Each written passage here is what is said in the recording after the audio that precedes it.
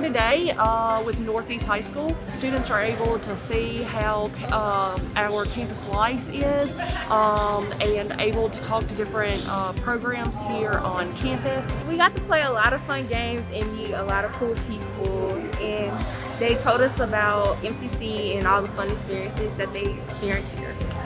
Man, we just had a whole, just had a whole lot of fun, played a whole bunch of games here at MCC. I really missed it. Like it wasn't even, kind of made me change my little bit, not lot, you know what I'm saying? Like it is, it's, it definitely worth the Eagle Experience, I, I missed it. It was cool. Talked about it, you know, a couple people, smiled a lot, you know what I'm saying? Enjoyed myself, really did. It worked getting out of bed. It was, it was definitely worth it.